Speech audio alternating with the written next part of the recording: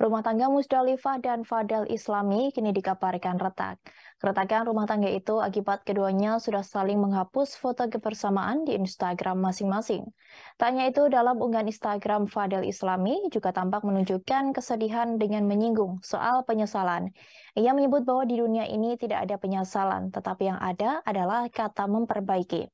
Sementara sebelumnya, Fadel Islami mengungkapkan alasannya menghapus foto sang istri dari laman Instagramnya.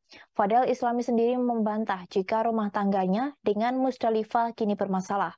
Hal itu diungkapkan melalui sebuah talk show di televisi belum lama ini. Kemudian Musdalifah juga turut menanggapi aksi Fadel Islam yang menghapus fotonya di Instagram. Ia menyebut bahwa mereka hanya ingin menghapus foto saja tanpa ada maksud tertentu. Fadel Islami berdalih jika ia menghapus foto Musdalifah karena untuk merapikan feed Instagram.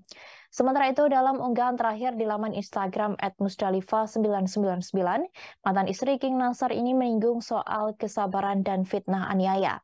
Ia menyebut apabila tidak membalas sebuah fitnah dan bisa tersenyum saat dihina, maka Tuhan akan mengangkat derajat orang tersebut. Kegaduhan hati Pustalifah tak hanya terlihat sekali itu saja. Dalam unggahan sebelumnya, ia juga tampak menyinggung soal kesederhanaan hidup. Ia menyebut agar mengejar sesuatu sampai sanggup, dan apabila tidak sesuai maka dilarang untuk menyalahkan takdir.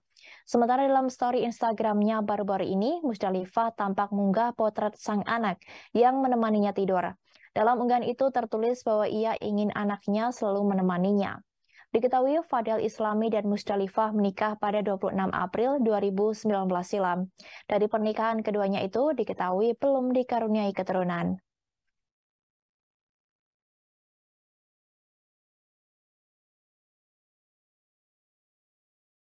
Terima kasih sudah nonton.